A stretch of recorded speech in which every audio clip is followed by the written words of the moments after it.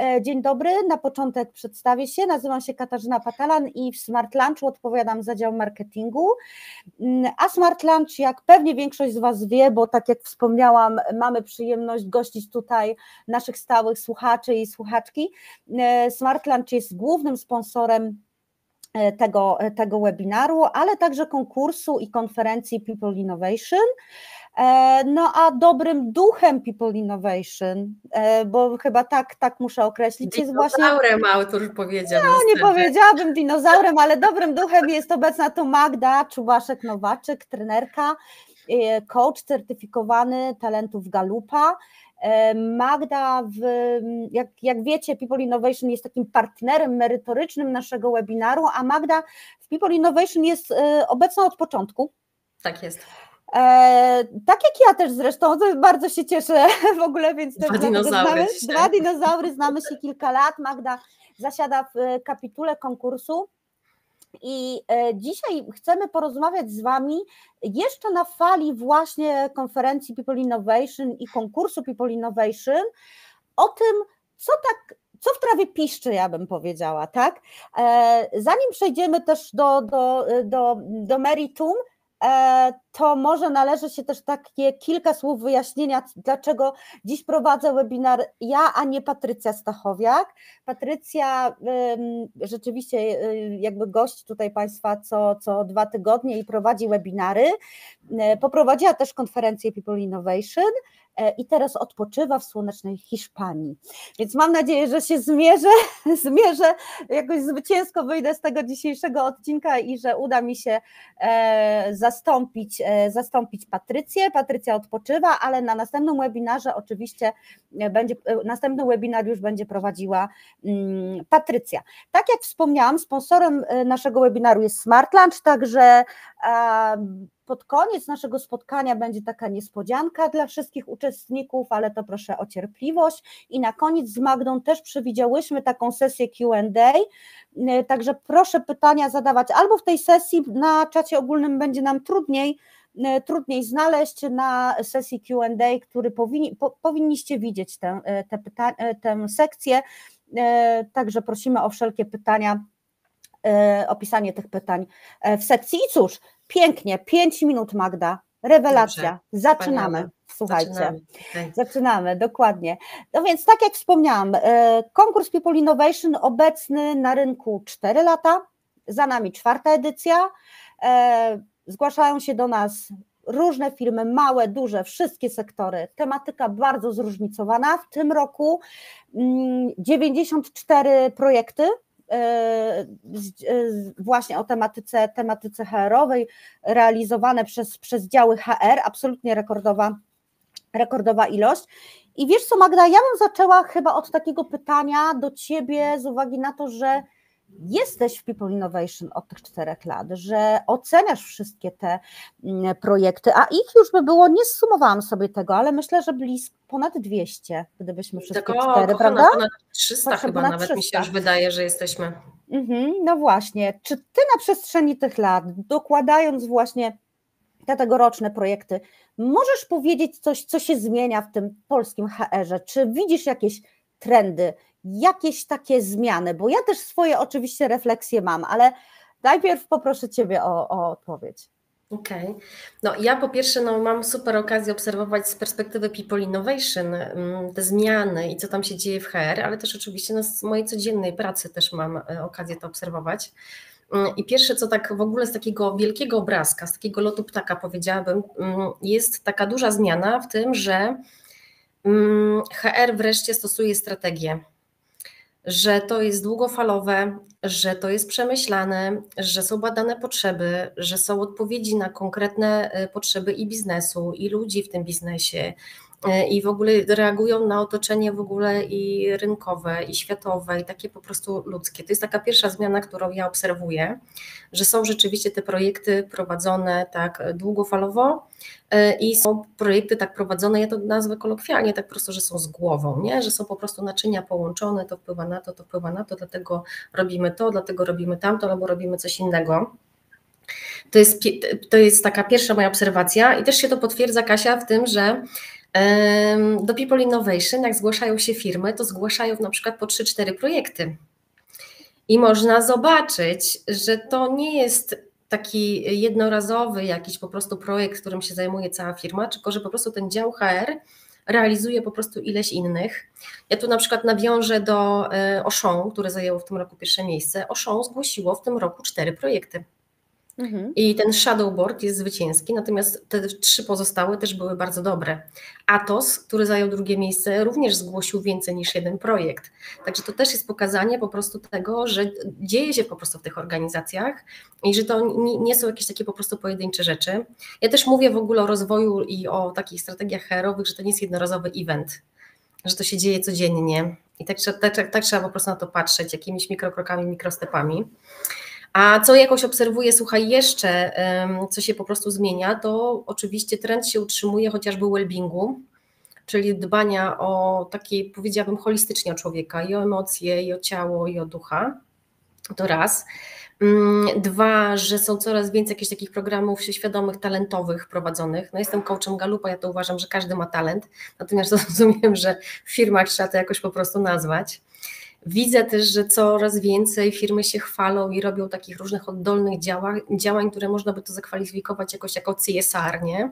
Chociażby to sadzenie lasu, które zostało wyróżnione na tegorocznym People Innovation, nie? Tego, który po wichurze ucierpiał. Mm, coraz więcej młodych się dopuszcza do głosu, chociażby weźmy pod uwagę te nasze dwie petardy Faurecje, nie? E, Faurecje Automotive, które pokazały ten staż. Mówię, słuchajcie, o firmie, która wystąpiła i reprezentowały ją bardzo młode e, osoby z HR-u, które po prostu wniosły jakoś też taką świeżość w ogóle e, do, do konkursu, do wystąpień. No i co oczywiście cyfryzacja, nie? AI w ogóle widać coraz więcej, że HR nie boi się sięgać po technologię, nie boi się z tego korzystać, nie boi się wdrażać, nie boi się prosić w ogóle e, tych działów wewnętrznych IT, żeby po prostu jakieś narzędzia włączać. No i wszędzie oczywiście w mediach, w trendach, we wszelkich, że tak powiem, nie wiem czy wymuszanych, ale y, wdrażanych regulacjach prawnych wszędzie obecna inkluzywność, nie? czyli po prostu włączanie, zwracanie uwagi na różnorodność, na szacunek do tej różnorodności e, i nie wykluczanie, a po prostu raczej e, integrowanie po prostu ludzi z takimi potrzebami. Nie? Mhm. Kasia, coś byś dodała? E, coś pominęłam? Tyle, że jeszcze oczywiście będziemy mówiły na pewno o mm, automatyzacji i o sztucznej inteligencji, bo to jest rzeczywiście taki temat, który który jest na topie od dawna, odkąd chat y, GPT wypuścił swoje narzędzie na rynek, to świat oszalał i e, AI pojawiło się, tak naprawdę przeniknęło do wszystkich e, dziedzin, dziedzin życia, ale ja bym wróciła jeszcze do tych trendów, bo rzeczywiście mhm. Magda, zgadzam się z Tobą, że, wy, że, że powiedziałaś o tych kluczowych trendach, ja nawet sobie pozwoliłam taki slajd zrobić, e, żeby wypisać gdzieś tam właśnie takie kluczowe rzeczy w mojej subiektywnej ocenie, które, które w HR-ze są e, ważne, e, więc e, pełna zgoda.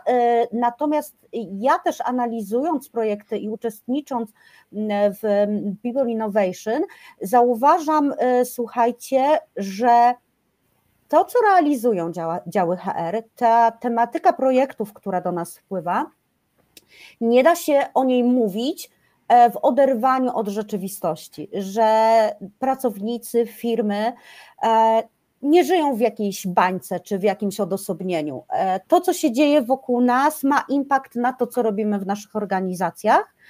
E, I mówię tutaj o tych najtrudniejszych czasach, które mam nadzieję za nami, choć wojna za naszą wschodnią granicą wciąż trwa, ale przeżyliśmy pandemię, tak, wysoką inflację, drożyznę i pamiętam, że w ubiegłym w ubiegłym roku bardzo dużo było takich projektów związanych z właśnie z well-beingiem i dobrostanem, o którym Magda wspomniała, ale też takich, które skupiały się na przykład na docenianiu pracowników, docenianiu w e, takim kontekście dawania pozytywnego feedbacku, budującego feedbacku, tak? Budowania... W ogóle dawania feedbacku, Kasia.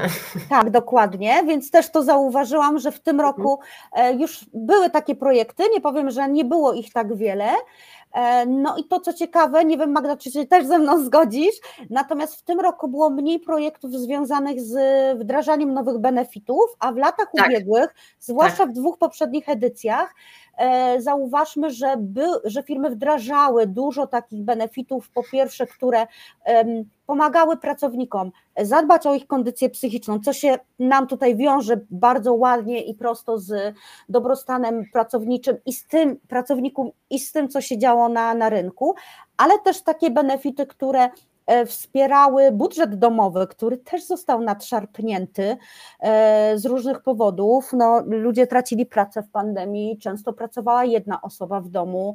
Mm, potem ta inflacja, więc wszelkiego rodzaju benefity typu zaliczkowe, finansowe, to przecież był taki czas, kiedy one się pojawiły i firmy też się tutaj w konkursie naszym zgłaszały, które wdrażały takiego typu, typu świadczenia, więc to też było takie ciekawe, ale może tyle o przeszłości, skupmy się na tym, ale co jest wiesz, teraz. Jeszcze, no? jeszcze się odniosę, wiesz, bo było mniej rzeczywiście, natomiast było więcej tych benefitów wokół well-beingu. Czyli się pojawiały jakieś aplikacje, które dobro, o dobrostan miały wspierać dbanie, tak?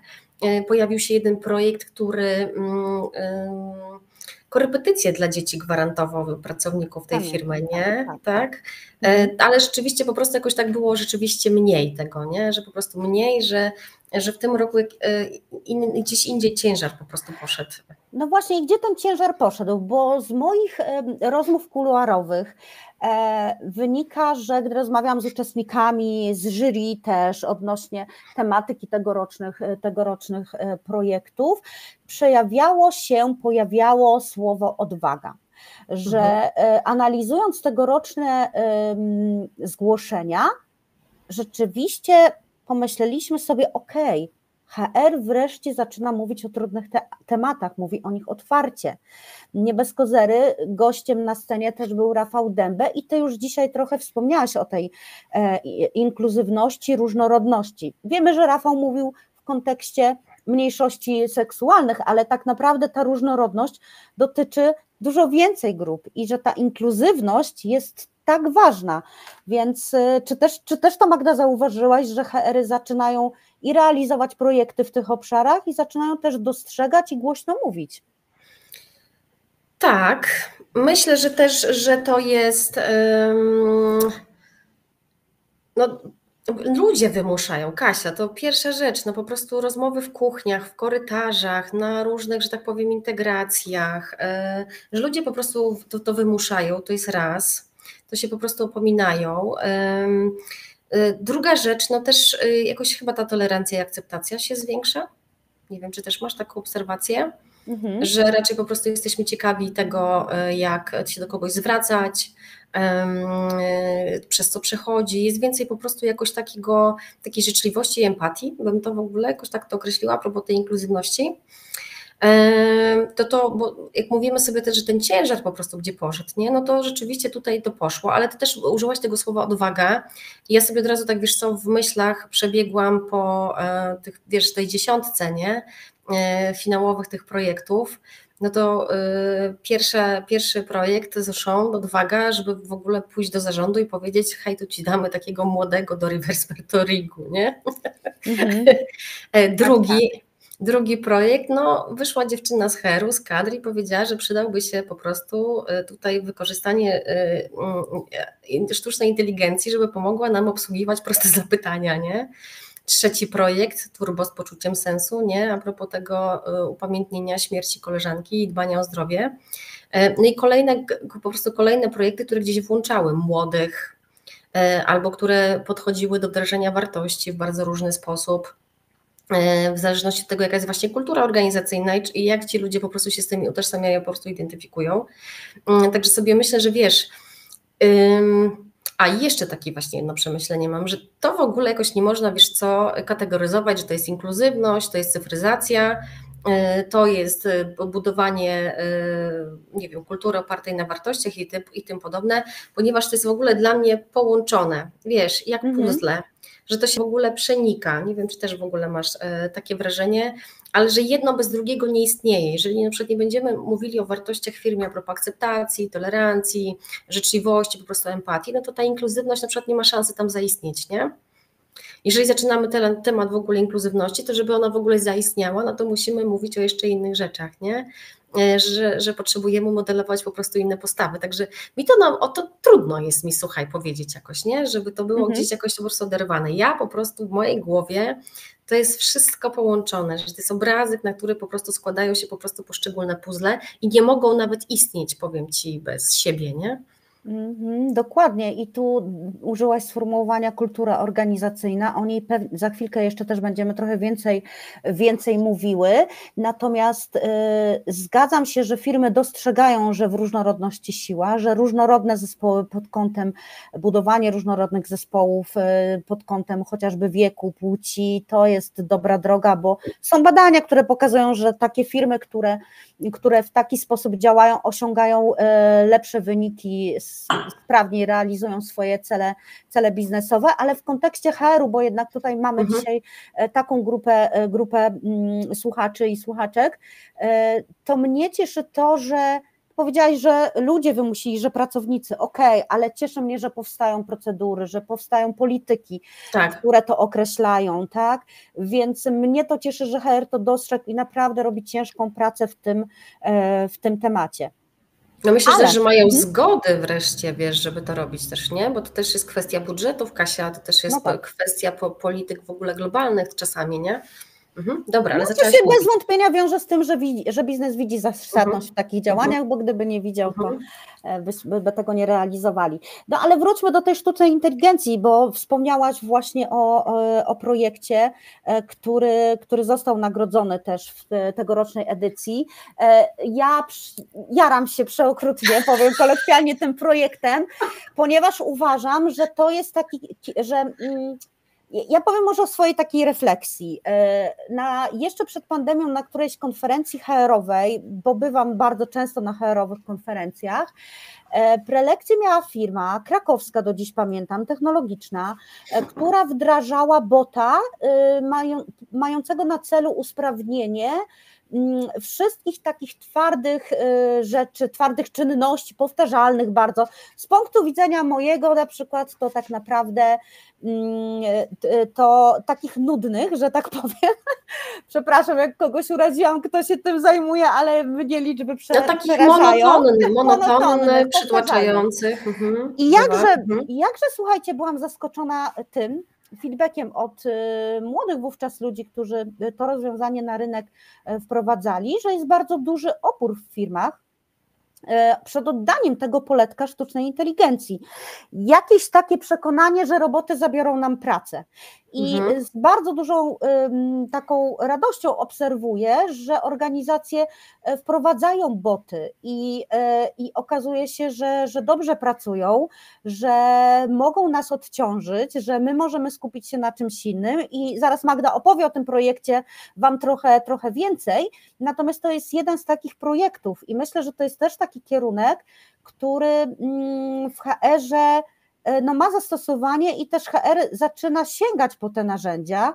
E, ja może tak dosłownie tylko e, jako taki przypis powiem, że mm, w Smart Lunch mamy, tako, mamy biuro obsługi klienta i zrobiliśmy takie badanie pół roku temu, może trochę więcej, naszych użytkowników, w jaki sposób oni się z nami kontaktują, słuchajcie. I okaz- bo mają do wyboru tradycyjny telefon, mają mhm. do wyboru maila i mają mhm. do wyboru czat. I słuchajcie, im młodsze, im młodsi pracownicy, tym częściej wybierają bota, czata, chcą pisać, nie chcą rozmawiać z żywym człowiekiem. I po prostu to się dzieje, tak, w tle. A teraz Magda, już nie opowiadam, powiedz coś więcej o tym projekcie, bo on w mojej ocenie jest naprawdę świetny, świetny, świetnym rozwiązaniem. Tak, Hermiona, słuchajcie, tak jak Hermiona zna wszystkie, Hermiona to z Harry'ego Pottera zna wszystkie zaklęcia, to ta Hermiona zna się na prawie pracy Dokładnie. i zna się na e, wszystkich jakichś takich regulacjach wewnętrznych w firmie Atos, to żeby było jasne, ponieważ to jest narzędzie wewnętrzne. Mm, natomiast y, no tam się, wiesz, czy ktoś z Was w ogóle tutaj, no, dacie radę napisać na czacie, codziennie obsługuje takie pytania w stylu hej Kasia, ile mi jeszcze urlopu zostało? No i wyobraźcie sobie takie pytanie, które pada 70 razy w ciągu dnia i odrywa Was od jakiegoś przygotowania raportu, przygotowania jakiejś prezentacji, jakiejś obróbki danych, w ogóle pomyślenia, że odrywa Was od kawy, od kanapki, nie?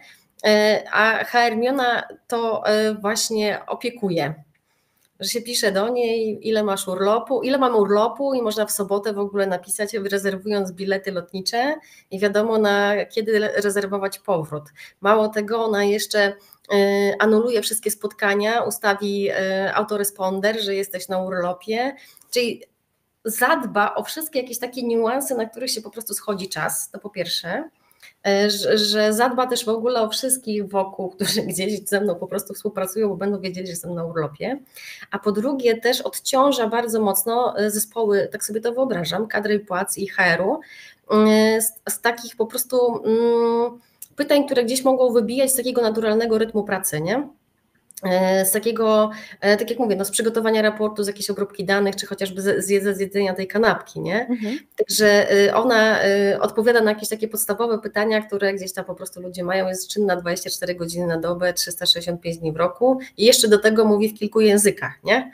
E, żeby po prostu nie było tej, tej bariery językowej. Mm, no i też ja sobie myślę, że tego typu rozwiązania, no, będą miały jakoś i mają już coraz więcej jakiegoś takiego zastosowania, ponieważ mm, widzimy, gdzie, gdy Kasia zaczęłaś o tej walucie czas, nie? że to jest, to mhm. jest taka waluta teraz naj, naj, najważniejsza. Tak sobie pomyślimy, ile poświęcamy czasu na odbieranie takich telefonów, na wyszukiwanie takich danych, na udzielanie takiej informacji, to w czym, tym czasie po prostu można by było zamknąć pewnie za trzy projekty. Nie?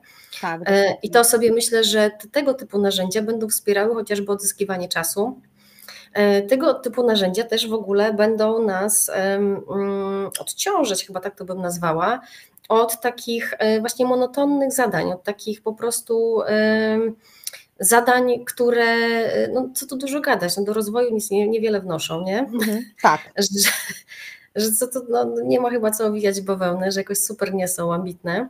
Mhm. E, I, Są powtarzalne ja, też, prawda? Też, to jest to, co tak. powiedziałyśmy o tych powtarzalnych różnych zadaniach w HR-ze, bo ja też słuchając tej e, prezentacji e, w trakcie konferencji, prezentującej to, to rozwiązanie, to też miałam taką właśnie refleksję, że my często w organizacjach, nie wiem, właśnie bym bardzo chciała, żebyście podzielili się z, z nami tutaj na czacie, jeżeli e, wdrożyliście w swoich firmach, jeżeli macie jakieś takie rozwiązania związane ze sztuczną inteligencją, to może w krótkich słowach napiszecie nam o nich, bo ja mam takie doświadczenie, że w organizacjach robimy e, takie, budujemy centra wiedzy. E, I przy onboardingu, rekrutując mhm. nowe osoby, pokazujemy im, gdzie mogą znaleźć informacje o tym, o tym, o tym.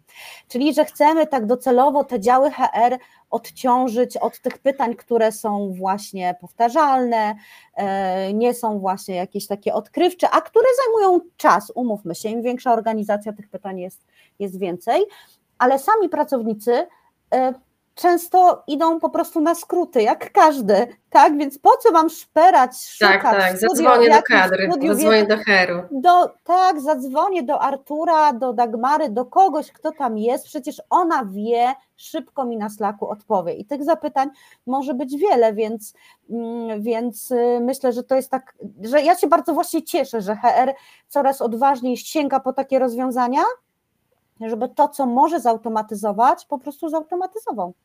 Tak, Kasia, bo tu mówimy o Hermionie, ale też były zgłoszone projekty, które były aplikacjami takimi wewnętrznymi budowanymi w firmach, które ja w ogóle uważam, że to one też świetnie wspierają chociażby badanie potrzeb, mm, chociażby badanie nastrojów, takie check pulsy, że pomagają takie tego typu aplikacje chociażby, pomagają wdrażać małymi krokami jakieś zmiany, że pomagają modelować postawę, że pomagają um, oswajać ludzi z jakimiś po prostu tematami.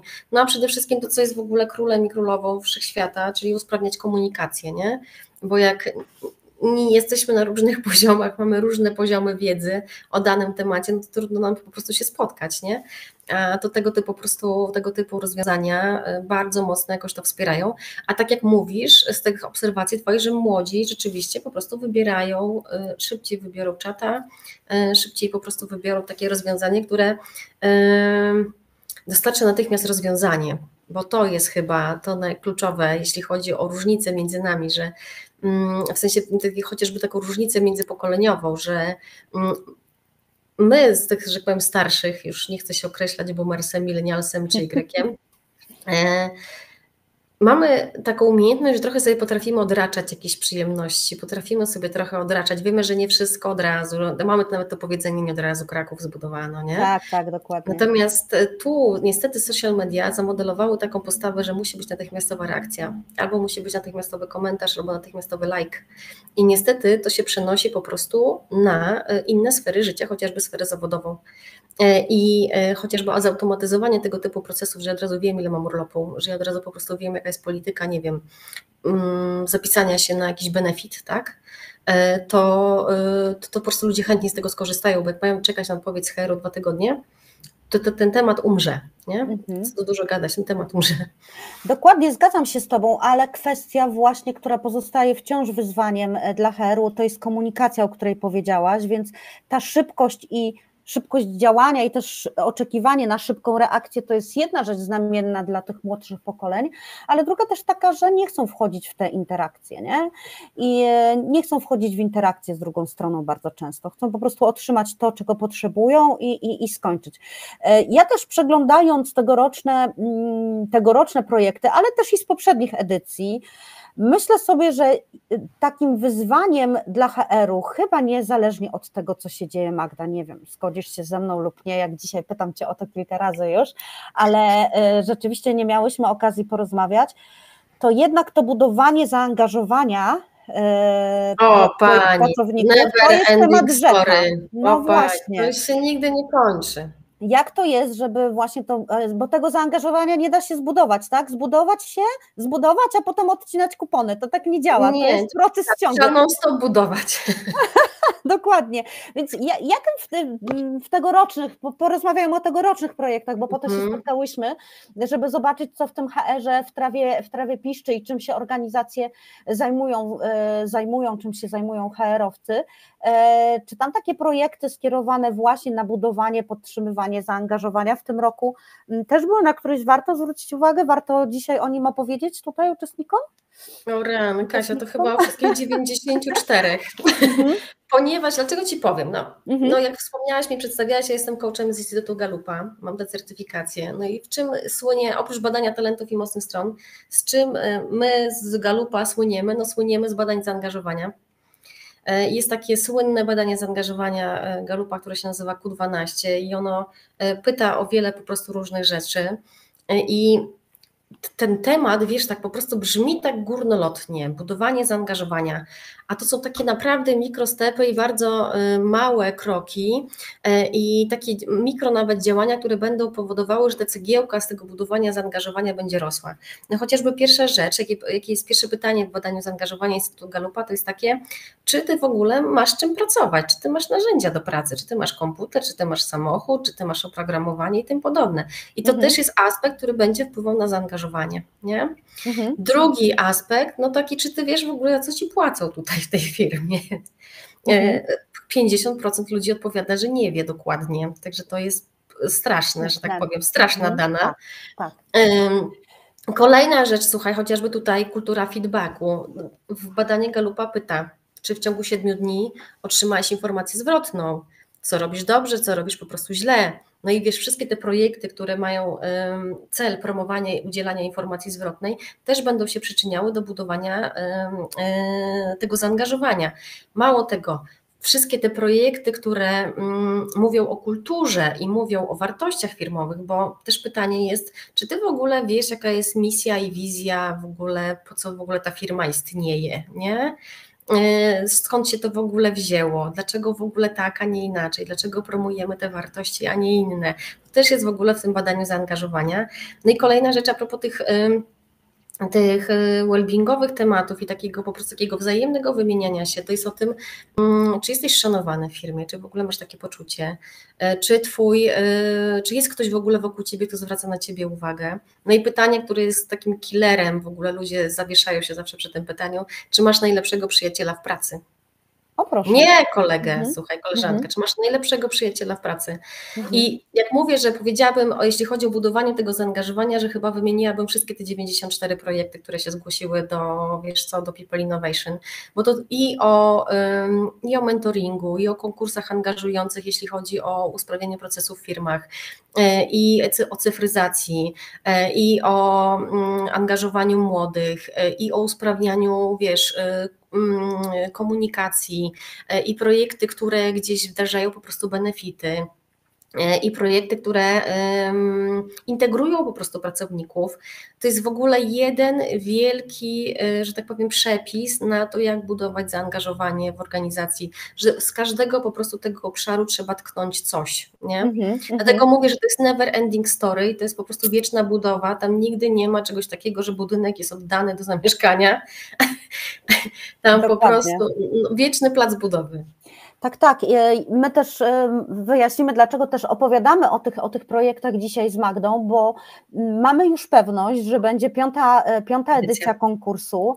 Także wszystkich, którzy dzisiaj tutaj z nami się spotkali, uczulamy, że People Innovation i to Innovation to troszeczkę odczarowujemy. To nie musi być jakiś super wysokobudżetowy projekt, ale tak. właśnie może dotyczyć tych wszystkich obszarów, o których wspomniała Magda, e, bo mnie bardzo cieszy, że firmy mm, zgłaszają się do naszego konkursu i chcą rynkowi opowiadać o bardzo o tych dobrych praktykach, mm, no bo to ważne, żeby się dzielić swoją wiedzą, a nie robić coś w obrębie, e, w obrębie organizacji. Natomiast na czacie Magda troszeczkę się cofniemy. Mhm.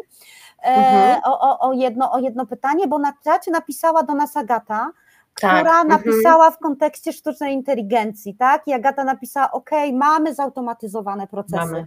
No i co z tego? Jak pracownicy nie chcą samodzielnie sprawdzać i nie chcą mhm. z nich korzystać. I Renagata, ja bym Cię tak? zaprosiła na rozmowę, jak to w ogóle było wdrożone, mhm. E, jak ten cały proces komunikacji tam przebiegał, jak w ogóle mm, skąd w ogóle się wziął pomysł tego zautomatyzowania procesów? Bo to też pytanie o to, czy to jest odpowiedź rzeczywiście na potrzeby ludzi, nie? E, ja bym tam podrążyła. E, kto wpadł na ten pomysł, dlaczego, na jaką potrzebę w ogóle odpowiada, jak to zostało zakomunikowane, jak zostało wdrożone. E, po, po prostu poszczególne etapy bym tam jakoś po prostu zapytała. No I też powiem, że to nie jest stracony temat. To nie jest stracony temat, bo można zrobić w projekcie nowotwarcie i zacząć po prostu od początku. Dokładnie, bo takich blokad też w mojej ocenie, yy, które mm, nie pozwalają ludziom korzystać z tych procedur, może być bardzo wiele. Oczywiście Agata nam tu napisała bardzo ogólnie, nie wiemy czego dotyczą e, tak. te automatyzacje dokładnie, mm, ale tak, ale blokad może być dużo, może być zawsze nowe odwarcie, tak jak Magda powiedziała, zawsze warto wrócić też do komunikowania tych rozwiązań, ponieważ umówmy się, mm, nie wszyscy ludzie są z technologiami za pan brat i po prostu boją się, że coś gdzieś klikną, że poniosą konsekwencję jakąś, bądź odklikną i coś jest nieodwracalne, więc w mojej ocenie edukacja, edukacja i komunikacja to jest jakby coś nieodzownego i coś, co jest kluczowe przy tym, żeby budować takie zaufanie do, do tych procesów. Tak jak mówię, Agata, trudno nam się odnieść, bo nie wiemy dokładnie o czym, o jakich e, procesach, mhm. procesach piszesz, ale myślę, że dobrym kierunkiem E, byłoby znowu zakomunikowanie, że te zmiany są, tak. bo ja, ja tylko tak od siebie dodam, że jestem takim totalnym, e, totalną pasjonatką, jeśli chodzi o benefity i zajmuję się tym tematem od lat. I słuchajcie, jako HR wdrażamy na przykład różne benefity i wydaje nam się, że nasi pracownicy wiedzą, jakie mają benefity. A jak zrobimy badania, i też takich na rynku jest naprawdę wiele, to okazuje się, że często pracownicy nie wiedzą, co mają do dyspozycji. I tacy, tak. którzy nawet pracują już rok, dwa, trzy. Więc ciągłe komunikowanie y, jest niezwykle ważne, czyli znowu dotykamy kwestii komunikacji, tak, która pozostaje wyzwaniem w wielu, wielu organizacjach. Mhm. Co, Agata, jakbyś chciała odbić myśli, to tam napisz do mnie na LinkedInie chyba najszybciej, to ja chętnie, że tak powiem, coś jeszcze bym z Tobą tam, e, że tak powiem, porozkładała ten temat na części, tak jak napisałeś. Dokładnie. Co tam a, można zrobić? Tak, a pozostając też w tematyce wciąż y, tych projektów czy, czy trendów, o których dzisiaj sobie mówimy w kontekście, e, w kontekście HR-u, to przewija nam się ciągle, Magda, ta kultura organizacyjna. Mhm. Prawda, że nic o niej No, oczywiście wszystkie strategie, wszystkie najlepsze plany, wszystkie, wiecie, super pomysły, cyfryzację, well-beeingi i tym podobne, sztuczna inteligencja, kultura organizacyjna zeżre na śniadanie. I tak, tak mi się, tak, Agata, to też jest jeden, że tak powiem, z czynników, które kultura organizacyjna może być taka, że jesteście bardzo przyjaźni, bardzo friendly, bardzo w kontakcie. Co ja tu, tu będę gadać z chatbotem albo tu jakieś automatyzować procesy, jak ja bardzo lubię Agatę, ja bardzo lubię z nią pogadać, a przy okazji to zapytam Cię, co jest, nie? Mhm. Być może, być może. Nie wiemy. No właśnie, dlaczego też jakby dotykam tej, tej e, kultury organizacyjnej, wrzuciłam taki slajd, który rzeczywiście pokazuje, że, że ona jest ważna, że wartości jak wiszą na ścianie, to nic, nic nie znaczą.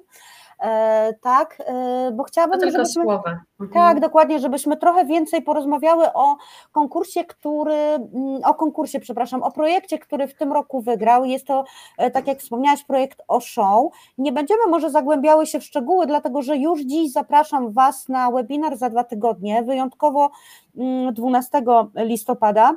A nie 13, Kasia? 13, A, przepraszam, tak? Okay. 13, mhm. dobrze, przepraszam, 13, e, gdzie będzie autorka tego projektu i ona na pewno Wam przedstawi wszystkie, całe case study i narzędzia e, i, i takie niuanse, o których dzisiaj nie chcemy z Magdą rozmawiać, ale trochę bym jednak o tym projekcie wspomniała, bo on dotyka właśnie tej e, kultury organizacyjnej, prawda Magda? Mhm. Tak, no program się nazywa Shadowboard.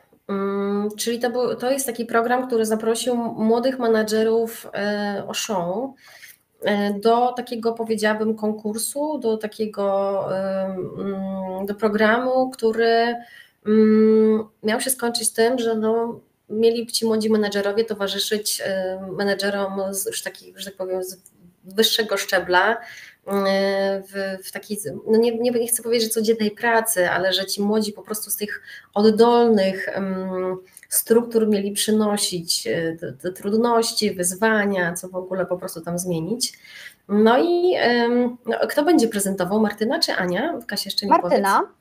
O, super, bo mhm. Y, Martyna, Martyna Sałek jest taką osobą, która zaaplikowała tylko do jednego członka zarządu, a dokładnie do prezesa i powiedziała wszystko albo nic, co też będzie o tym opowiadała, y, bo y, stwierdziła, że jak idzie to po wszystko mm, i no to jest właśnie o, o tej też, nie Kasia, zobacz, no jest, to znowu nie jest e, wszystko połączone, że to jest o włączaniu młodych, że to jest trochę już o przekazywaniu pałeczki, trochę sukcesja, że to już jest o feedbacku, udzielaniu informacji zwrotnej, że zobacz, tu mamy reverse mentoring, czyli e, nie tylko prezes Martyna, ale Martyna prezesowi też tam udziela e, informacji że to też jest o włączaniu, prawda? Że to jest to też o zwracaniu na, na różne aspekty, że to też jest o, o o tym, żeby ta firma po prostu szła do przodu, żeby się po prostu nie starzała, że to też jest o angażowaniu i zaangażowaniu, że jak jest już ten po prostu zarząd, to nie jest głuchy i ślepy i że słucha po prostu tych innych. I, i to jest wszystko też to, co się po prostu składa też na tą kulturę organizacyjną, nie? Mhm, mhm. No tak, w kontekście też e, tego projektu też miałam taką refleksję, e, no, że właśnie tej kultury organizacyjnej nie da się jakoś narzucić, nie da się powiedzieć, nie. słuchajcie, jest tak i tak, zrobimy sobie warsztat i ustalimy, nie wiem, wartości, inne rzeczy. Jeśli na tym skończymy, no to one będą wisiały na ścianach, będą w hasłach, no ale nigdzie więcej. A jak same wiemy, bo też i rekrutujemy i, i mamy do czynienia z tym rynkiem pracy, widzimy, że w różnych badaniach e, kandydaci mówią, atmosfera pracy. No i co się pod tym kryje, nie? To jest takie jest. w ogóle też ta kultura organizacyjna, słuchajcie, to jest takie pojemne, e, pojemne sformułowanie. I teraz może powiem coś trywialnego, coś powszechnie wiadomego, ale aż, aż ciśnie mi się, żeby to powiedzieć. No ale zwykle pracownicy mówią, że przychodzą do firmy, a odchodzą od szefa. No tak? Kasia, to jest wniosek z badań Instytutu Galupa z lat 70., moja droga. Wiecznie żywy. no właśnie, no właśnie, dlaczego jest wiecznie, wiecznie żywy? żywy? Wiecznie po prostu żywy, tak? Mhm. E, że tyle wiemy, tyle znamy nowych metod zarządzania, a poziom, a poziom i wdrożenia to są niestety lata 90. dalej po prostu. No i co się dzieje? Mam jakiegoś menedżera, który ma, reprezentuje jakieś, nie wiem, destrukcyjne na przykład zachowania albo takie no, nie wspierające komunikacji, otwartości, współpracy i zaufania. No i wychowuje sobie kolejnego menedżera, następuje modelowanie postawy, no i wchodzi na to miejsce i robi to samo, nie? Także to, to że, jak to się odmienia, to się e, to super. Natomiast wiesz co, bo mówimy tu o show, natomiast nie wiem, czy wiecie, ale będzie e-book wydany, prawda, Kasia, w tym roku tak, też dokładnie. ze wszystkich projektów. Ja też zwracam bardzo Wam serdeczną taką uwagę. Są jeszcze dwa projekty, które były w top 10 w tym roku e, dotyczące zmian w kulturze organizacyjnej. Bardzo serdecznie polecam Wam tę lekturę. Jest kruk Mhm, e. E, Kruk SA ze zmianami w kulturze organizacyjnej i w ogóle powiem Wam, że ja byłam naprawdę pod totalnym wrażeniem tego projektu. Tak się powinno wdrażać e, zmiany w kulturze organizacyjnej. To jest raz. Dwa, też był bardzo fajny projekt z PKOBP na wartościowanie, tak się nazywa. W ogóle ta nazwa mi mocno w ogóle w głowie gra i też jak w ogóle wartości można w organizacji wprowadzić. Natomiast jeszcze kolejna rzecz, bardziej tak kreatywnie, jeszcze mieliśmy Albedo przecież na czwartym miejscu, agencję marketingową, tak. która zrobiła coś dobrego, wzięli się, namówili na to, że zrobią, po prostu zaadoptują marzenie dziecka e, chorego terminalnie I się po prostu okazało, że tym działaniem, tym taką spontanicznością w ogóle wszystkie wartości firmowe włączyli do życia. I się nagle okazało, że to nie są tylko plakaty ze ścian, ale rzeczywiście my tym żyjemy, to mamy e, i, e, i to tak, i to te, te między nami po prostu one funkcjonują. Naprawdę powiem Wam, że bardzo wiele jakichś takich um, um, inspir inspiracji jest takich nieoczywistych po prostu z tego roku, nie? No Kasia, nie wiem, czy też po prostu masz takie wrażenia. E, dokładnie, zgadzam się i dziękuję, że przywołałaś Kruka, bo mm, to też jest projekt, który bardzo mi się podobał, słuchajcie e, i on pokazuje, jak przykład idzie z góry. Ja miałam okazję wysłuchać e, prelekcji, nie na tej konferencji, trochę wcześniej. Wybaczcie, że nie pamiętam, nie chcę na szybko googlować, ale prezesa tej e, firmy. Firma Kluk to jest firma windykacyjna. Tak.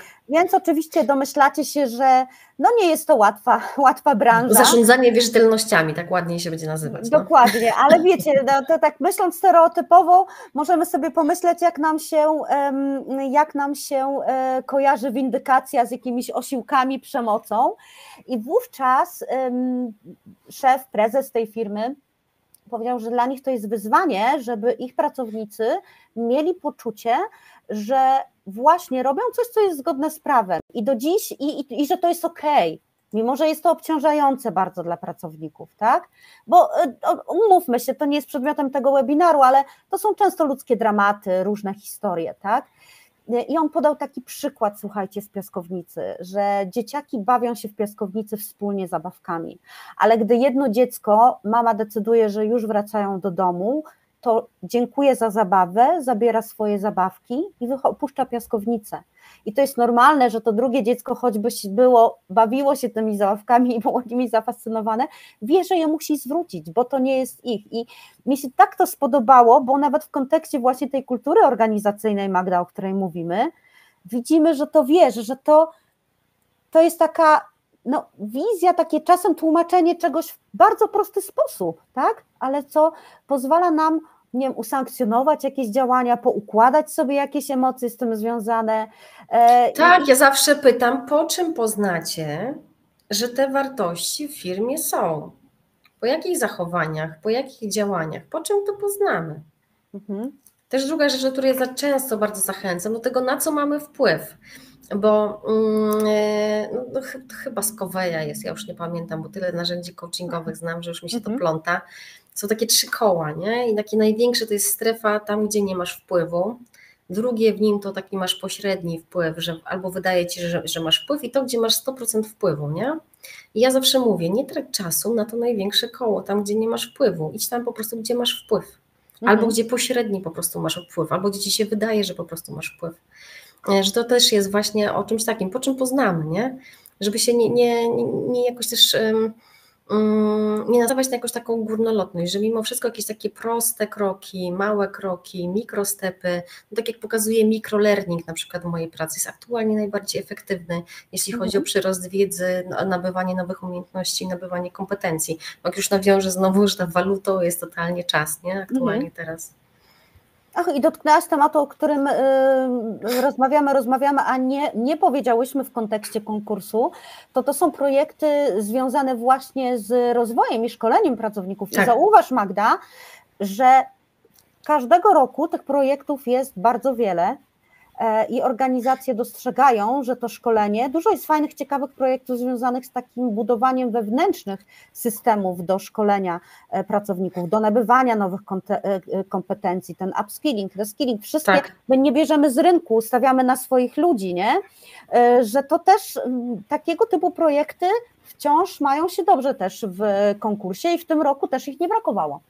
Nie brakowało i ja jeszcze, no ja jestem ekspert do learning and development totalnie mhm. od rozwoju. E, I ja na przykład miałam dylemat, jak e, miałam coś rekomendować dalej, na przykład do 20, do półfinału, nie? E, ponieważ ja mówię do Artura, mówię, Artur, te projekty są bardzo dobre. Są bardzo dobrze przemyślane, bardzo dobrze zbadane, bardzo dobrze ułożone, bardzo dobrze zmierzone. Ja naprawdę mówię, słuchaj, siedzę drugi dzień i mam dylemat, nie? Ten dobry, ten dobry, ten dobry. E, I to, to jest y, o tym też, nie? że ta po prostu ta mhm. jakość też po prostu wzrasta. I też sobie myślę, że to też jest a propos tego, czegoś takiego, e, a propos modelowania postawy, że um, ludzie gdzieś doświadczają jakiegoś dobrego, długofalowego projektu i idą do innej organizacji, albo gdzieś się ruszają e, w, w strukturze poziomo pionowo i też inicjują po prostu tego typu projekty, że to też po prostu się zarażają tym nawzajem, nie? No to mhm. ja, ja to obserwuję, że naprawdę jako ekspert od rozwoju i od szkoleń, to powiem Wam, że naprawdę rośnie ta jakość i, i to jest super. I to jest super i ja wreszcie też e, cieszę się, że rośnie ta świadomość wśród HR-u, że jednorazowym szkoleniem to nic nie załatwimy nie rozwiążemy wszystkich problemów w danym zespole, z danym menadżerem czy w organizacji, że jednak potrzebny jest plan, że potrzebna jest taktyka, że potrzebna jest strategia, że potrzebujemy różnorodnych działań, że dobrze też jest wziąć po prostu też kogoś z zewnątrz, kto popatrzy na to w ogóle na chłodno, mhm. który nie będzie miał takiego natężenia emocjonalnego jak wszyscy, którzy są po prostu w środku, w tym kotle e, i że gdzieś będzie jakiś przewodnik, który to gdzieś po prostu poprowadzi. Nie? Ja sama to widzę w ogóle gdzieś w swojej pracy, że e, wczoraj nawet od klienta usłyszałam taką e, po prostu informację, że Wiesz co, Magda, ty jak bo czasem się odezwiesz po tych naszych dyskusjach, to ja w ogóle jestem zaskoczony, że, że tak inaczej można myśleć o tej sprawie. Mhm. Nie zaczęliśmy dalej rozmawiać, to gdzie ja coś inaczej pomyślałam. I on po prostu powiedział, że po prostu mu się tam klapki gdzieś w głowie zaczęły otwierać, że mhm. siedzi w tym, w tym kociołku, gotuje się w tej zupie z całą resztą, a tu przychodzi czubaszek, zamieszała po prostu w garku i mówi, no ale ten smak to wcale nie taki zły, bo to, bo to, bo tamto. I nagle ojej, to są z tego po prostu inne możliwości, nie? Że mhm. to też jest, e, e, to też po prostu jest, e, widać w tych projektach People Innovation tutaj, że raz, że oczywiście korzystamy wewnętrz, z wewnętrznych y, struktur, korzystamy z wewnętrznych ekspertów, z wewnętrznej wiedzy i to jest super i słuchajcie, trzeba robić tego jak najwięcej, bo to działa i dla tego, który przekazuje wiedzę i uczy i dla tego, który po prostu się uczy. E, ale też e, widać, że po prostu sięgają e, ludzie, bo prosimy tam, żeby uzupełnili taką, taką rubrykę, czy ktoś był z zewnątrz, jakieś po prostu było wsparcie i pojawiają się też zewnętrzni konsultanci, którzy gdzieś po prostu pomagają nawigować po prostu cały proces i to też jest super, nie? że no tak, po prostu nie, uczyć się od siebie wzajemnie. Tego. Tak, tak, dokładnie. Ale też to, o czym rozmawiamy, czyli ta taka otwartość na uczenie, budowanie takiej organizacji wciąż uczącej się, to też jest element tej kultury organizacyjnej, tak? To też jest taki element y, niezwykle ważny. I tak jak powiedziałyśmy przed chwilą, że e, trzeba zaczynać od małych rzeczy, bo mnie nic bardziej nie śmieszy, przepraszam, jak ktoś się obrazi, jak to, że firma E, komunikuje na zewnątrz, że mamy work-life balance i tak dalej, a mają po prostu kulturę nad, nad, robienia nadgodzin i nikt nad tym nie panuje na przykład. Nie? Tak I w dobrym tonie jest na przykład zostać w pracy dłużej. E, tak I jest. takich organizacji wciąż jest na rynku, na rynku bardzo dużo. Prawda? Ja natomiast jeszcze Magda, za chwilę po, pociągniesz swoją myśl, tylko chciałabym też jeszcze sprostować jedną, e, jedną, jedną informację, bo e, rzeczywiście wzorem lat ubiegłych za jakieś dwa tygodnie, jeśli się nie mylę, e, będzie miał premierę, na pewno nie przegapicie, bo będzie ona zgłośną w internetach, będzie miał premierę e-book, jak zawsze podsumowujący tę edycję, natomiast nie omawiamy w nim wszystkich projektów, 94, okay. omawiamy w nich 10, w nim, okay. nie 10, 20 właśnie pół A 20, tak, dobrze. Tak, dokładnie, także znajdziecie w tym e-booku tak. 20 chyba nawet jeden albo dwa projekty, dlatego że omawiamy tam 20 półfinałowych i finałowych 10, które wchodzą w skład, ale także projekty, które zostały nagrodzone nagrodą specjalną, tak jak w tym roku Smart Lunch nagrodził e, tę firmę e, meblarską za mm, projekt starowy. Tak, tak, o którym, o którym wspomniałaś, także wypatrujcie nas, będzie, będzie głośno e, o, o e-booku, także zapraszamy. Jest to firma Polipol, e, tak tylko gwoli wyjaśnienia, odnośnie sadząca lasy i sosny, 40 tysięcy, Magda, dobrze pamiętam tych sosen? Chyba tak. To była jakaś potężna liczba, tak, tak. Tak, tak, tak, tak.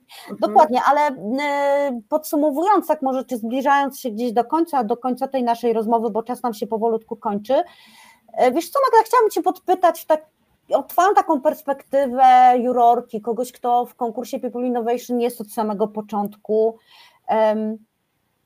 czy te projekty, które, które są nagradzane przez nas od tych czterech lat, już dzisiaj możemy sobie powiedzieć, mają jakiś impact na rynek? Gdzieś o nich jest jeszcze głośno, bo e, to, to zaraz powiesz, bo ja tylko taką dygresję, że e, ja na przykład spotykam się, że firmy mm, w ogłoszeniach o pracę, słuchajcie, e, użyję słowa chwalą się, że dostały nagrodę i dla mnie to jest zawsze takie budujące, kiedy widzę dużą małą firmę, dużą firmę, każdą firmę, która pisze o tym w ogłoszeniu swoim rekrutu, y, rekrutacyjnym, y, że mm, otrzymała taką nagrodę i zawsze się mnie to cieszy, naprawdę, tak przyznam otwarcie.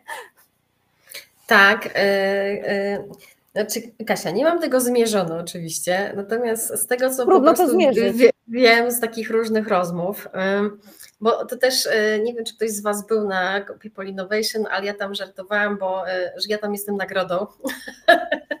bo jak jest grywalizacja e, w trakcie konferencji, to pierwsze, za pierwsze miejsce, za, że tak powiem, za, za zdobycie pierwszego miejsca jest badanie talentów i mocnych stron konsultacja ze mną, mówienie tego wyniku. I pamiętam z zeszłego roku taką sytuację, że odbierała dziewczyna, która wygrała tą, tą nagrodę, no i ja jej pytam, na jakie tam wrażenia po konferencji w ogóle to. I ona mówi tak, wróciłam taka zainspirowana, poszłam od razu do nas do IT i powiedziałam, że potrzebuję takie narzędzie, które po prostu było prezentowane i ten. I zaczęłam po prostu to opisywać. I się okazało, że zbudowali własne narzędzie na bazie inspiracji po prostu z People Innovation. Nie? -hmm. To, to mhm. jest po prostu raz. E, dwa, ja też bardzo mocno zachęcam moich klientów, żeby e, współpracujący ze mną hery, żeby przyjeżdżały na People Innovation i potem jak rozmawiamy, no i jak, mówię, jak tam macie wnioski, słuchaj, posłuchaliśmy tej i tej firmy, i oni mówili, że tam był taki błąd i że na to po prostu uważali. My robimy ten sam błąd. My musimy po prostu już reagować, po prostu korygować to, że musimy po prostu inaczej. Albo mówią tak, słuchaj, myśleliśmy, żeby zrobić to tak i tak, ale tamci nas zainspirowali i myślimy, że po prostu zrobimy jeszcze inaczej. Także ja z takich po prostu rozmów kolorowych widzę, e, że po prostu wracają e, hery z takich konferencji, są zainspirowane e, i zaczynają po prostu wrzucać temat na bęben Czyli mhm. zaczynają rozmawiać ze swoimi szefami, zaczynają oglądać budżety, zaczynają rozmawiać z zespołami i patrzą w ogóle, co jest możliwe w ogóle do wprowadzenia. To patrzę, że tak, że ma to Kasia impact, naprawdę ma. Mhm. My tak dzisiaj z Magdą o tym rozmawiamy, ponieważ chcemy, tak jak mówię, już dzisiaj zaprosić Was e, na tę e, piątą edycję, aż w ogóle jak sama to mówię, to nie wierzę, że to, że to już piąta już pięć, edycja. Nie? Tak, że pięć lat, dlatego że mm, ja jako, ja, nie lubię tego sformułowania, właśnie go używam, ale jako bywalczyni wielu konferencji, słuchajcie, HR-owych, e, powiem Wam, że ta jest o tyle wyjątkowa, że właśnie na scenie możecie albo siebie zaprezentować, jak weźmiecie udział w naszym konkursie, ale też możecie właśnie poznać e, projekty i działania działów HR, takich, które na co dzień nie pojawiają się na tych kluczowych, dużych konferencjach HR. Nie mają szansy w ogóle nie być mają, speakerem. Co to dokładnie, nie mają szansy stanąć tak. na scenie i o tym opowiedzieć. Czasem mhm. też firmy, które reprezentują, nie skupiają się na tym, żeby w ten sposób pojawiać się w świecie, w świecie HR. Przez co ta wiedza, oczywiście o tych projektach wiemy z ich e, kont w mediach społecznościowych i to wszystko. E, a tak naprawdę przekonacie się po, po, po mm, tym e-booku, to są takie typowe narzędziowe, narzędziowniki, ja to nazywam, bo te case study nie są takie górnolotne, że coś zrobiliśmy gdzieś, tylko są bardzo skrupulatnie opisane od celów poprzez poszczególne wdrażania, poszczególne etapy, a także ewaluacje, prawda? To też jest takie tak, super, tak. super e, istotne. E, tak, bo też były takie projekty w tych 94, które trwały i my tak. daliśmy jasną informację zwrotną, hej, wróćcie na piątą edycję, jak już będziecie mieć zmierzone i będziecie już wiedzieli po prostu, jaki jest impact w organizacji, bo projekt zapowiada się świetnie, e, natomiast po prostu jeszcze nie mamy o nim danych, nie? To też było takich kilka takich zgłoszeń. Gdzieś dawaliśmy z Arturem taką informację zwrotną. Mhm, mhm. E, z uwagi na to, że ja przynajmniej nie widzę, Magda, pytań na czacie, mhm. nie wiem, zerknij, czy ty masz albo w Q&A, bo mi się nie świecą, e, to jeszcze bym na, na, sam koniec, e, chyba że macie jakieś pytania, to, to, to zapraszamy. Natomiast na sam koniec też tak podsumowując, Magda, ja bym chciała Cię podpytać o to, co jest takim głównym hamulcowym elementem wdrażania nowych rzeczy? Oczywiście my dzisiaj mówimy o działach HR i tych obszarach mhm. HR-owych. Możemy potraktować to e, w kontekście HR-u, ale też e, możemy powiedzieć o tym trochę szerzej. Bo innowacja to zmiana, więc co jest takim hamulcowym? Tu też liczę na Twoją taką wiesz, wiedzę związaną z galupem, z tym, że każdy z nas jest inny i każdego z nas co innego hamuje. E, jaką byś miała taką refleksję na koniec, żeby mm, co nas hamuje i co, z czym musimy tutaj zawalczyć, że tak powiem? No, przede wszystkim myślę, że neurobiologicznie to nas mózg hamuje, Kasia jesteśmy swoimi największymi sabotażystkami, tak? W sensie takim, że mózg ma za zadanie utrzymać to ciałko przy życiu, a jak mhm. jest zmiana, to on po prostu bije na alarm, mówi o nie, no zagrożenie życia, zagrożenie przetrwania. Jak oni tu w firmie chcą mi coś nowego wprowadzać, to się wiąże z tym, że będę coś musiał, musiała, mhm. że będzie coś po prostu inaczej, że potrzebuje czasu na to, żeby się po prostu oswoić, mm, że to po prostu generuje takie podświadome i takie pierwotne lęki przed tym, nie? No to, to taka pierwsza rzecz, e, co jakoś e, hamuje. Też myślę sobie, że taka, też takie nie, nieumiejętne jakoś takie podejście też do tych, do tych innowacji, do tych po prostu zmian, takie nieprzemyślane, one będą po prostu y, największym jakimś takim wrogiem y, tego. Ja zawsze mhm. mówię wolniej, mniej, ja zawsze mówię mikrokroki, mikrozmiany budują naprawdę makroefekty. Tak, długotrwałe to... takie zmiany, nie? Tak. Jednak. Mhm. Tak, bo to wiecie, nawet przekładając to na inne, na inne obszar życia, tak jak wspomniałaś tej piaskownicy, to ja wspomnę, bo ja na przykład byłam na wszystkich dietach świata, słuchajcie.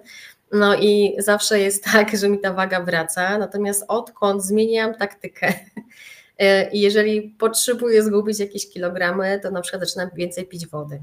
Odstawiam chleb, ale wiecie, nie odstawiam wszystkiego stawiam mhm. makaronów, słodyczy i tym podobne. Sobie po prostu dozuję te zmiany. Nie wywracam tego po prostu do góry nogami od razu całego swojego życia, że od poniedziałku to ja po prostu tylko chleb, woda i rośliny, nie? I warzywo, tylko to. Także to też ja zachęcam do patrzenia w ten sposób na, na, na wdrażanie po prostu innowacji. No i myślę sobie, że jakoś takie te, te, te, te lęki po prostu są jakieś takie mhm. największe. Gdzie ja będę po prostu, co ta zmiana da, tak jak Ty wspomniałaś o tym, Kasia, że e, ludzie się boją, bo na przykład pracę im odbierze jakiś bot, jakaś e, sztuczna inteligencja, czy inny po prostu, inaczej po prostu nazwany strach, mhm. że im więcej takich informacji, im więcej pokazywania tej wizji końca, e, im więcej w ogóle rozmawiania o tym. Oczywiście ja, ja zawsze będę orędowniczką, im więcej po prostu rozmawiania o emocjach, jakie po prostu nam towarzyszą, im więcej w tym świadomości, tym te wdrażanie tych innowacyjności będzie po prostu łatwiejsze. Mhm. No i cóż ja mogę powiedzieć na koniec dla wszystkich Was, którzy zostaliście, e, że dzisiaj pojawiała się odwaga, więc my życzymy tej e, odwagi przede wszystkim w podejmowaniu zmian i, e, i wprowadzaniu innowacji metodą małych kroczków. I tak jak wspomniałam na początku naszego spotkania, dla uczestników dzisiejszego e, webinaru e, mamy specjalną promocyjną ofertę od Smartland, czyli od naszego głównego sponsora. Jeżeli pracujecie w firmach, które mają powyżej 50 osób i chcecie przetestować, posmakować i zobaczyć, z czym to się je, z czym Smartland się je, to wpiszcie tutaj na czacie sobie hashtag degustacja i my się z Wami po, mm, po webinarze skontaktujemy jeszcze dzisiaj, najpóźniej jutro. Degustacja oczywiście jest e, bezpłatna, więc absolutnie nie ma tu żadnych ukrytych kosztów. Jak e, macie chęć zobaczyć, jak smakuje benefit żywieniowy od Smart Lunch, to e, zapraszamy. I też jakie zaproszenie na koniec? Cały czas zapraszamy Was na naszą grupę na Facebooka. Magda, jesteś w grupie? Nasze? Oho, wiesz co, nie jestem, zaraz dołączę, właśnie tak się złapałam. Ale wiesz, jak tak wrócę do tego poprzedniego twojego mm. slajdu a propos degustacji, cholewa, ja tylko trzy osoby zatrudniam. No to trudno, trudno Magda, niestety. Ale zapraszam Was, jeśli macie chęć zobaczyć, z czym, z czym to się je, z czym się je Smart Lunch, odezwijcie się do nas, hashtag degustacja. Ja też powiem, że Smart Lunch zawsze bardzo dobrze karmi. Jak prowadzę jakieś warsztaty, szkolenia, mam spotkania w Smart Lunchu, to zawsze dzień przed dostaję wiadomość. E, co chcesz na śniadanie, co chcesz na obiad? Jak mam jakieś po prostu marzenie, życzenie, coś mi się po prostu podoba tam, e, że tak powiem, w tym menu na mhm. kolejny dzień, to zawsze mam zamówione, czeka, podpisane. Powiem wam naprawdę, bardzo fajny benefit. E, współpracy ze Smart Lunchem, bardzo. Znaczy, a jeść musi każdy, choć czasem wyeliminuje jakiś chleb i doda wodę, jak to Magda tak, wspomniała, tak. ale może zawsze sobie coś wybrać. E, dziękuję, dziękuję Wam, że, że byliście z nami tę godzinę, szanując czas, o którym dzisiaj też tu trochę było, że to najcenniejszy z zasobów. Nie chcemy Was przetrzymywać. Zapraszamy już za dwa tygodnie. Jeśli interesuje Was projekt, który wygrał nasz e, tegoroczny konkurs, a zapewniamy z Magdą, podpisujemy się obydwie, że warto posłuchać. Może być jest bardzo Martyna Petarda jest tak. naprawdę tak. warto popatrzeć na taką osobę, która pracuje w, no, w dziale szkoleń, ale w HR-ze. Nie? Dokładnie. Mhm. Czysty narzędziownik, więc e, zapraszamy Was już dziś. Jutro jutro i dzisiaj pewnie już pojawią się szczegóły na, w naszych mediach społecznościowych, także wypatrujcie, pozostańmy w kontakcie. Dziękujemy bardzo za dziś. Dziękuję Magda, że przyjęłaś moje zaproszenie. Dzięki Kasia za e, zaproszenie. I, I mam nadzieję, że mimo, że dzisiaj Patrycji nie było z nami, to udało nam się tę godzinę spędzić e, z Wami e, w taki inspirujący, ciekawy ciekawy sposób. Także dziękuję wszystkim za obecność, wszystkiego dobrego i do usłyszenia za Dzięki. Dzięki, wszystkiego dobrego, dobrego dnia, dobrego tygodnia. Dziękujemy.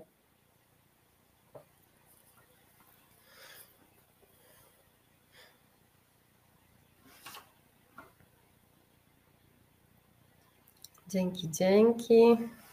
Tak, dzięki na czacie.